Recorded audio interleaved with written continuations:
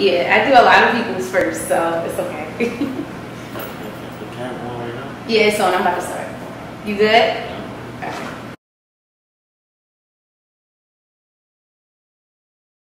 Hey y'all, this is Gallereah. We're here in the place to be with WLC Rod. What's up with y'all? All right. So it's Monday. How are you feeling today? I just got off of work. Mm-hmm. I work with kids. Oh, work with kids. I'm tired. Oh, they draining. Uh, uh, this, this one little boy who would not sit down. He would not sit down. And what do you do with the kids? I work at Roosevelt Recreation for real, so it's Oh, so, okay. So they outside. Yeah, they they on trips and all. Yeah. That's really cool. That's what's up. Yeah, it's cool. I like my job. Yeah. Kids, it just bad. Just bad. I used to work with teens, but they done. Oh, okay. baby. Yeah. Baby. They got so much energy, and I Yeah, bet you they sleep right now. They definitely sleep. Yeah, that's what the summer do. Bring them outside and knock them out. Right.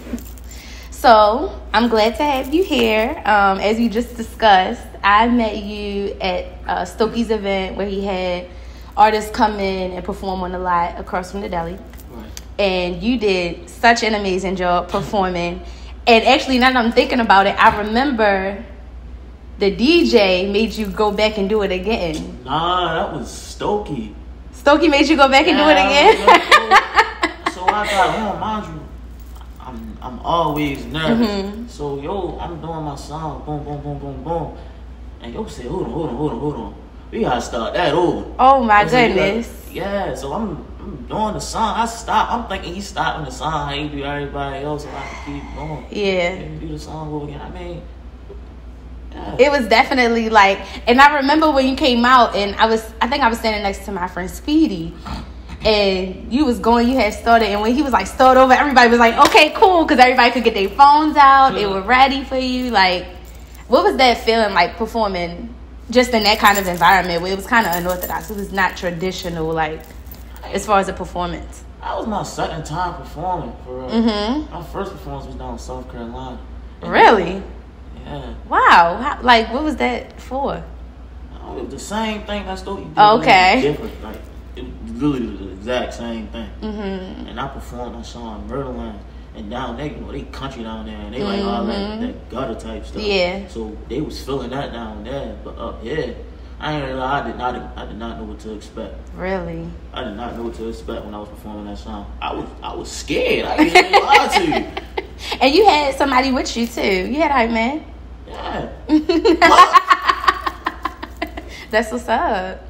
Yeah, no, you killed that performance. Um, the song itself, Dead End, is definitely like I feel like people artists have things to say, but um, a lot of times when they make songs, it, it can be a little they start talking and we stop listening. I feel like with Dead End, don't you want to everybody wants to hear what you have to say from beginning to end. So talk about that single itself too.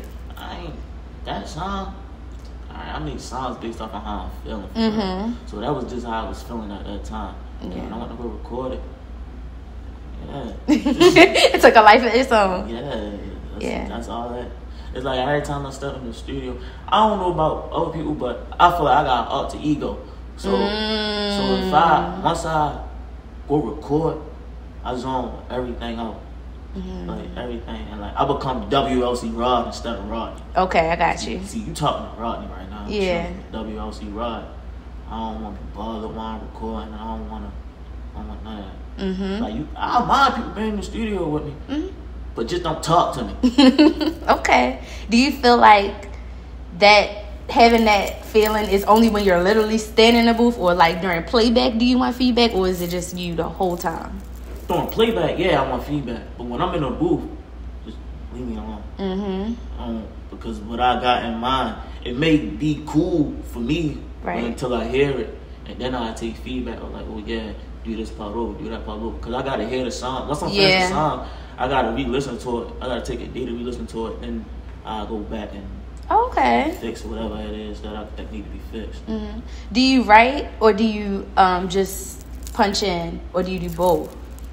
I write. Mm-hmm. That's it. Yeah. I ain't. I. I punched that one time. That was when I first first started. Mm-hmm. I was just starting, and I ain't really lie. The song was cool because I wrote most of it, but then I couldn't think of nothing else to write. So then I just started doing whatever was on the top. Mm-hmm. Okay, it's a good idea. Um, excuse me. How long have you, from what I've seen, just from your social media, YouTube, you started dropping music in 2020. But when did you really start making songs? 2020. Okay. That was when I first. When did you de- like? What made you decide like, yeah, I want to do music? How did you know you was hard? I, I, I was in high school. I would write a song. You know what Mm-hmm. I'm saying? And I let my man's, my man's Nelly, I know, Mm-hmm. I let you hear it. And he said, yo, you hard, yo, you hard. to start rapping, yo.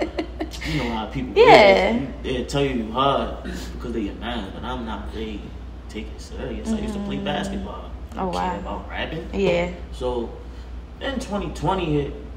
I ain't really lie, I was in a little puppy relationship and all that. and then that's when everything just came out. Mm-hmm. It- I mean, for me, it took me, it took my first heartbreak for me to, For you to actually Yeah. put yourself into it. yeah, Oh wow. What high school did you go to? digital. Oh okay. What school you went to? I went to Western. Oh. so that's why I ask. that's cool. So, in between 2020 and now, what do you feel like if you could talk to your 2020 self when you drop that music? What would you tell yourself? Would you change anything? What kind of advice would you give? Like, wouldn't change nothing. I, yeah, no, I wouldn't change nothing. mm, I just tell myself to be more consistent and to read more. hmm. Why would you say read more? Like I stopped reading recently too. Mm-hmm. But like, all right, so 2020, I'm two years. I'm fresh out of high school, so my mind's still fresh on on these big words. You know what I'm saying? So right now, me right now, I probably I don't even use those words like I was using them before, which I need I to see start what you mean. doing again. You feel what I'm saying? So I that that reading, I continue to read and Mm-hmm. to be more consistent. Got it. drop. And you feel like that helps your music when you're writing too. Yeah. Yeah. Cool. Um, who are you listening to right now? Like in general, Yeah, just in general. Old, I new, red. A lot of people. Mm-hmm. Everybody listen to YB. Yeah. You know, but I ain't really lie. I like listening to Adele and Alicia Keys. Okay. That's a You know what vibe. Yeah. I, what's her name? Uh, I don't like one song. What's who? Uh, G- Giveon. oh, Giveon. Yeah, him. I like one song. Mhm. Uh, I forgot how it went.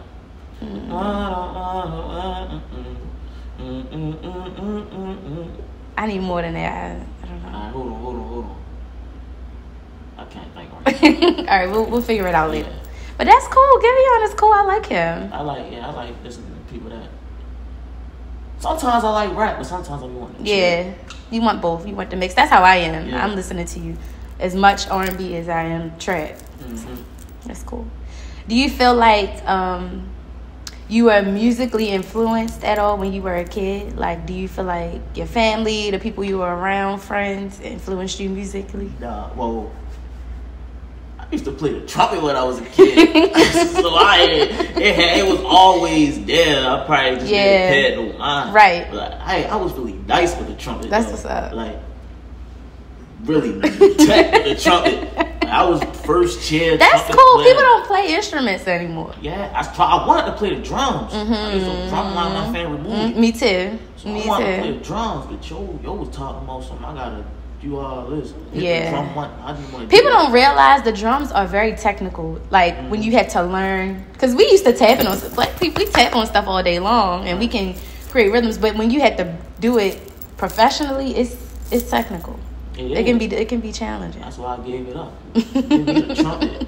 I took the trumpet. I was really nice on the trumpet though. I took dude. I ain't gonna say his name, but I'm not. I ain't gonna say his name, but he was first chair trumpet. It took me a week to learn how to play it. And you t- you almost got first chair, or you got No, first chair. I was first chair, and Oh, I quit. okay. I quit playing trumpet because I wanted to go. wanted to go to the gym. Mhm. Like ten years old, I wanted to play football and basketball. Yeah. Then I got back into the band, and I Mm-hmm. was the first chair again. Wow. So music was definitely always there. Yeah, it was Yeah. always there. I just didn't pay no mind. I, you know. Cool.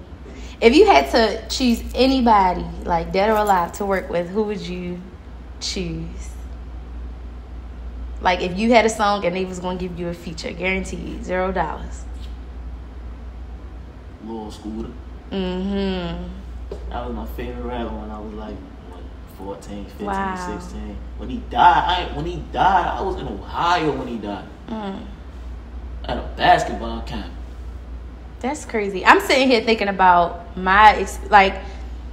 I feel like because when when I went to after I left Western, I moved to the county. So some things I was out of the loop on music music wise, and that's when I like it wasn't until he passed away I was like, dang, I really loved his music. Like I was listening to it, not even paying attention how much I enjoyed it until he passed. and when he Everybody passed, it was so sad. Like I remember the day. Yeah, I remember that.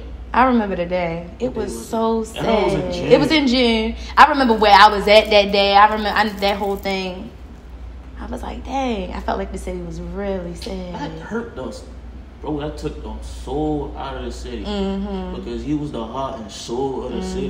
Because you, you had Scoota and Moose, and see our generation of music from here, Mm-hmm. it was crazy. When you had Scoota, Moose, Davo, and you had Stack. That that year, that 2015, 2016, Yeah. like it was. On I ain't. They had like a, a fourteen, like a two, three year stretch, Mhm. and they just had the whole city in a chokehold. absolutely. And that, I feel like we never really had that. It's, I mean, mostly like on the red tip. yeah, yeah, but but I it's coming back. It's coming now. back now, You definitely. It's a lot of people that's nice. Yeah, and they getting it. I feel like they getting it due. They starting to. Right. I, I feel like Baltimore as a whole getting a dude. Mm-hmm. Baltimore TikTok went crazy right now. Oh yeah. I don't know why Baltimore funny. We shit, are. bro. Like I was thinking about like everything that's going crazy on TikTok now. Like when I was in middle school and stuff like that, that was our norm. Like how you saying like we funny now? It's funny to watch it now, but I remember back then like when we first started getting nicer phones and digital cameras and like me knowing what to type in YouTube to watch Baltimore videos. It's like now it's blowing up on TikTok. It's like we could, probably could have been blew up off this stuff. Nah, yeah, if TikTok was back in like 2012, yeah, Mm-hmm. Baltimore definitely would have been on Absolutely. because everybody like Baltimore. Do you think so? I feel like just from listening to you, you've traveled outside of the state for for a few different things. Do you feel like everybody really likes Baltimore? Yeah, I feel like everybody like Baltimore. All right, look, when you go out of town Mm-hmm. and they know you from Baltimore, they tell you say two, they tell you that. But that means they really like you. I heard that from somebody in the studio the other night. Mm, Mike Beasley to be exact. That's my that's my producer. you know what I'm saying? okay. So yeah, they really like you, and I I agree with that. Mm. I'm sitting here thinking if I agree with that. I don't know. I do, but in the moment, I'm sensitive, so I feel like you trying to come at me or come for me or come for my city. Nah, I mean I don't feel that way. hmm I'm a dude though, Yeah. so they tell me stay to me. I know females like they like dudes from Baltimore because Baltimore like its on country. It really is. like It really is. I don't mean to, I don't mean to be mean, but we got fiends famous. Like the fiends are famous here, so I don't. That's There's no true. other city doing that. Absolutely. Talk about Whitelock. Um, my perspective is skewed because I'm from East Side, and I didn't know anything about White. Like I knew, I heard of it, I knew where it was, but I didn't realize how much of y'all own culture and community y'all have in that neighborhood alone until I got older and started having to go there more often. So talk about Whitelock. When I was younger, I used to. it was stuff when I was, I was a baby. Mm-hmm. I lived in like what? I mean, I was living around there. About like what? Five, four, Three. three. My first house was at the bottom. It was the bottom of Brookfield, right? That's that's the that's the Right, there, like soon as you right, you see the reservoir. Right. You see reservoir. You see the reservoir, and then I moved around the corner on Chauncey. right. That's the second. And that's the that's the second house. Wow. And then from there I moved I moved right there at the bottom of Brookfield right before you hit Callow. Okay. And I moved right there. And I was right there for like two like two years. Mm-hmm. And then but I see that like I was with my grandmother like Mm-hmm. So my grandmother she had me, her name was Bernice, rest in peace with my grandmother. God bless it. And I was with her. Yeah, I was by her side. I was like, my up, Yeah. you know what I'm saying? And I ain't ashamed to say it. My grandmother was a fiend. But everybody loved my grandmother. You know what I'm saying? hmm What? Yeah. Yeah. Everybody loved, everybody loved my grandmother. So and everybody knew me because of my Because grandmother. Because I was always with her. Like, Okay, so you you say you used to hoop. yeah. All right, talk about that. You hooping in Whitelock and Coach Troy.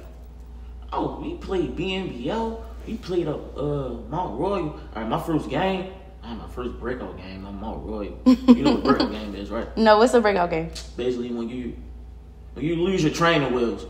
Oh goodness. So they just Like, throw you out there. Like, nah, like, all right, don't you know when you ride a, you, you don't know how to ride a bike.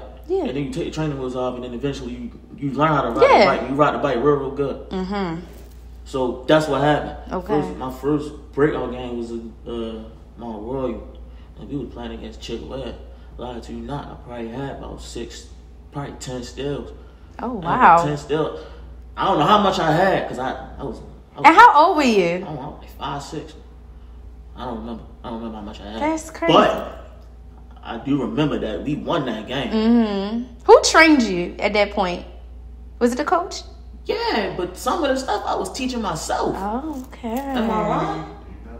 I was teaching So you had it. Yeah, but I think you start losing the love for the game. Mm. I started losing the love for the game in my junior year. Mm-hmm, That's when I transferred to digital. I went to Green Street at first. Okay. And when I was in Green Street, I started varsity my first year, well, my first two years. Wow. My first two years, uh, my second year, I averaged 25 a game. Mm-hmm. But then I transferred to digital. And then that's when I wasn't really doing nothing, but I was losing the love for the game. I didn't play my senior year because I tore my ACL. Oh wow. How was it like recovering from that? I feel like that is so traumatic. I'll never forget. It was uh, it was a girls basketball game, and this they we played against Dunbar, and that was always like our biggest game at Western. Mm-hmm. The, us playing against Dunbar was like just always crazy. And my friend who was on the team, she tore her ACL, and it was like the whole gym was like, like it was like a no for Western. So how was it when it happened to you, and how did you recover? And what was it like getting back? And did you even pick up, you know, basketball again afterward? When I tore I tore my ACL in practice. Mm-hmm. So this is just me being dumb. Prior to me tearing my ACL, I extended my knee in gym. Mm. Playing somebody one on one for some money, which I shouldn't have been doing. But I ain't even getting the money out of it. Like I got hurt. Oh no, I hurt no, myself. you were supposed to at least get the money. I hurt myself. I couldn't even walk. So then it was practice. Mind you, dude like six six, name Marcus. Oh, six six. I'm God. somebody six six. Mind you, I'm here. I'm like five. I'm the same height. Five Right. three, five whatever. so I'm God. I'm Boom boom. I let my pride get to the side. I started fouling them and all that. And then I came down. When I came down, my knee popped. Oh Like no. I heard the pop and it hurt so bad, but the whole gym heard it, my Mm. knee pop. And it's like, like you said, I was like, Right. That's exactly what happened. Coach ended practice after that. I would have ended practice too. But when I when it happened, I knew I tore my ACL. You yeah. I ain't even realize nobody noticed. I was kind of happy when I tore my ACL. Why? I didn't want to play basketball no more. Mm. I got tired of playing basketball. But recovering, it was cool. I mean, I was walking around the school. I got my surgery in January. My birthday month. I got my surgery January. Think it was January the 5th or something. Mm-hmm. Like, January 5th. I had my surgery January 5th. And I was homeschooled for like three weeks. Oh I wow. said- yeah, said, you was loving that though. no, I was not loving it. I'm, I'm on a, I was on a game every night. Uh. no, no, I, bro, they didn't even come give me my work. I That's was, crazy. I was just home. like, like I lied to you not. I had a hundred in one of my Spanish classes. I don't speak Spanish. I was cheating, but I had a hundred in my Spanish class. But I ended with a seventy. It was the mid time. I, I couldn't take my mid time test. that is midterm time. yeah, Mm-hmm. but I went back to school. Right. I went back to school on my birthday, January thirty first. So what the you're an Aquarius. Yeah. Do you know anything about zodiac signs? No, not really. Okay. I don't know too much about Aquarius, but I generally get along with them. Hey, I guess we cool. we are rolling. Okay. Now, so I want to talk about a few of the singles that you have. Um, let's start with Murderland. Um, what was it like dropping that? What was it like writing it, putting that song together? What is that song for you? That song like that, that was my first ever drill song. Okay. So when I first did it, I was doing it like like I'm talking to you right now. Mhm. And my old producer, yo said, push that shit out. You know. He told me, you gotta sit with some aggression. Mm-hmm. He him too. Mm-hmm. You know what I'm saying? You gotta sit with That's the drill vibe. Like making Yeah. sure you come with that energy behind me. And when I did it, I ain't really lie. Normally I don't listen to my own songs all the time. Mhm. Like that, that, that. I was bumping that song non-stop. Mm-hmm. And when I put it out, like, that was a highly requested song for a lot of people I didn't know. Okay. And they, they wanted me to drop that song. But it took me a minute to drop it, for one, because of the pandemic, and for two, my cameraman was just always booked. It was booked in January. I don't know why it's called. but yeah, but when I finally put it out, yeah, then I realized that sound ain't for me. Okay. But that's I'm glad that you got to explore it and then see for yourself like that wasn't me. What's which one of your singles is your personal favorite? Yeah, I ain't really lied to you. Is that what you performed when you um, performed in South Carolina? No, I perform Murderland. Oh, okay. But they like that type of stuff. That yeah, yeah, that's their vibe. Yeah, that ain't me. Oh man. That ain't me. Which one is probably your favorite music video? Was that did into? Nah, Thug Story. Okay. That was my first video, Mhm. first first video I put out. Talk about that song. Now that right, I remember recording that. Mm-hmm. That I was ta- I was trying to sing that song. I can't sing like that. my, my voice got deeper, but I was Uh-huh. trying to sing that song, and uh, they the same and they told me about Murderland. They wanted me to push it out. So when I did, that day was crazy. I ain't gonna talk about that day. That day was so funny when I did that. Day, when I did that song, Mm. when I was doing it, it was like five, six people that came in the studio. This little Chris, this little underrated, his crew came in the studio when I was doing the song. And that that whole vibe was crazy Okay. because it felt like I was performing. But I, I my eyes, I record my eyes closed. And you were saying you like you usually like to be performing by yourself yeah, in the well in the studio by yourself. yeah, but I did that in a hotel room. So Got you. different. So yeah, that was So- definitely a performance. But you know what I'm not. But I had my eyes closed. I was on everything on. But yeah, the last time I should. did it, when I shot the video, can't lie to you, I did it at the uh at the world they cook out around White Mhm. at the uh at the at the laundromat. Mhm. I was scared. Mm. Really, I was scared. Like if you would have been there, the first couple shots, I was stiff. Dude, Judy, yo said, loosen up, yo. You stiff. I remember. And uh after that, it was cool. Mhm. Kids got in the video and I seen that everybody was feeling the song. So I said, Yeah, cool. everybody else leaves might. Yeah, then my mind came, oh, oh stuff was dancing. He came at the wrong time, but it, he was on beat. He was Okay. on a little strut. I don't know if you seen the video or not, Mm. but he was dancing and all that.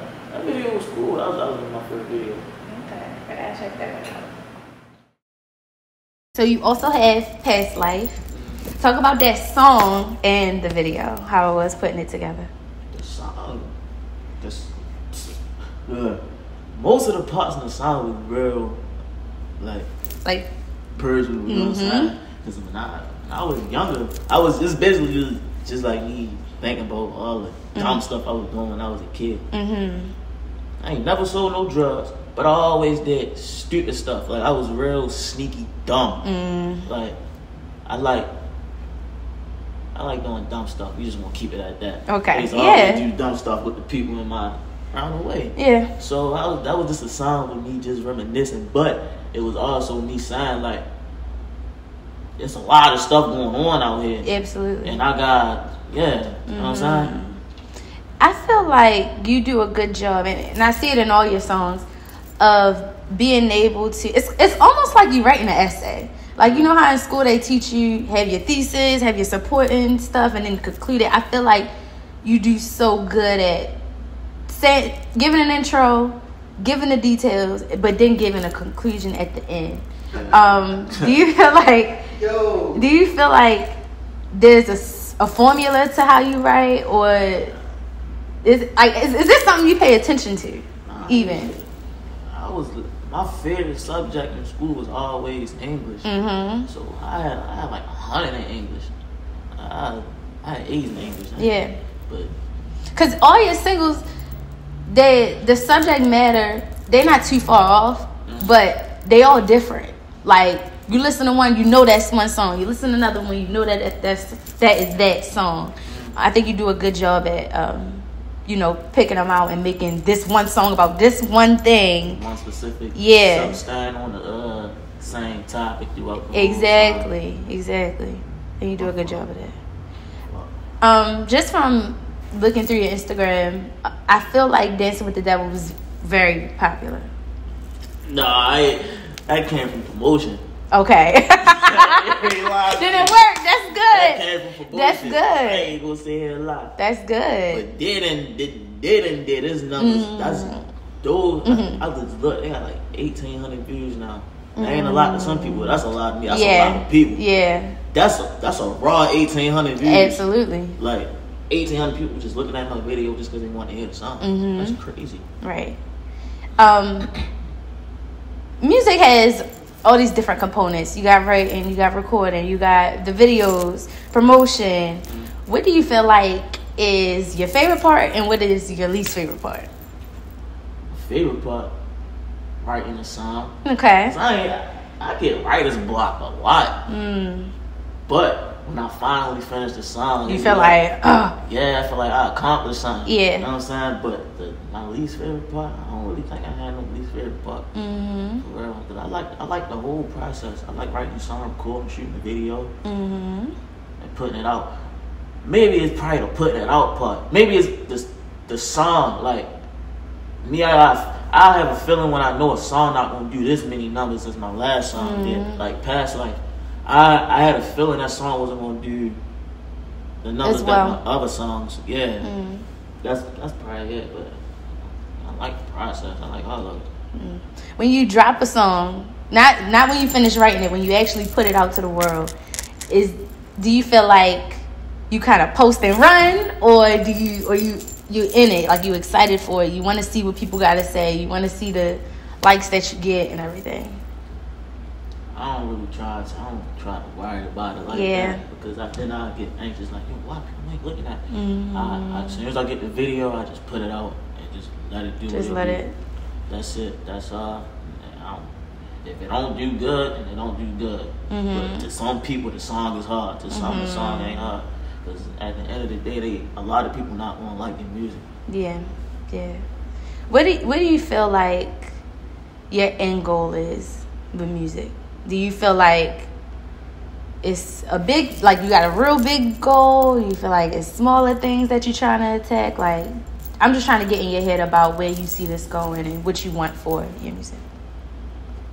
Personally, I don't really, I don't think ahead Mhm. that far ahead. So I That's was just- asking you, where do you see your music going? Like, you know, where your where's your goal at? And you mentioned that you feel like you don't look that far ahead. I don't, I don't, I don't, I don't look that far ahead. But I make music for myself. I want to, you feel me? If people Okay. relate to it, they relate to it. But I don't think that far ahead because I can't control, I can't control the future. I can only control it now. You know what I'm mm. saying? So I don't, I don't, I don't know. I, I don't know. Okay. What do, what do your friends think about your music? They like it. Mm-hmm. I don't really send them all my songs though. Yeah. And You just gonna have to wait till it drop. Mm-hmm. I send certain people like that's real, real Close close. I send them the songs, but I don't send everybody my songs. I used to. Don't get me wrong. I get a song. I send it to like 20, 30 people, Mm-hmm. and didn't care. but then they wouldn't come to the videos because they not really heard the song. okay. So I send a song like. Well, then that's a good. That's a strategy. Like, yeah, that's a good good idea. it- But I sent a, I sent a song to like five people. Mm-hmm. That's about it. That's cool. Who? Do, so you mentioned you tried drill. You tried these different sounds. What do you feel like is your sound? Do you feel like you found your sound yet? Yeah, I, I, I did. I got Mm. I got two um I got that my thug story and my uh my dancing with the devil sound Mm-hmm, and I got my dead end sound.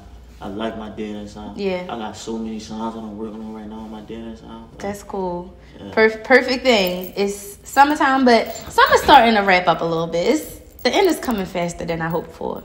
But do you have any music coming this year? yeah, I'm ready to shoot a video in like two, three weeks. Okay.